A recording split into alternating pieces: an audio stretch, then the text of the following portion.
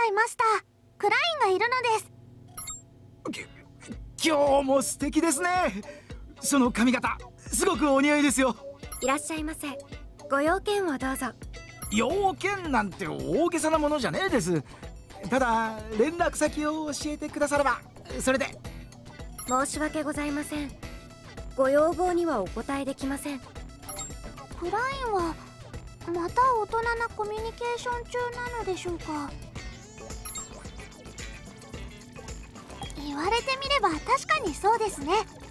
クラインには分かっているはずなのです。早速質問してみましょう。こんにちはクライン。ん？なんだ？アファシスじゃねえか。こんなところで道にでも迷ったのか？マスターがいるから大丈夫なのです。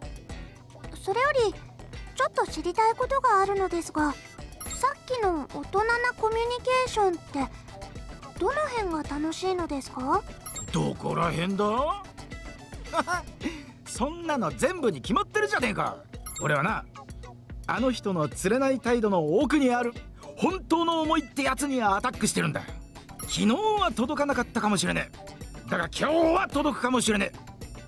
そうやって重ねていく1秒1秒が喜びなのよ。プレイヤーと AI なんてちっぽけな枠には収まらねえ。本当の関係を求めてるのさ。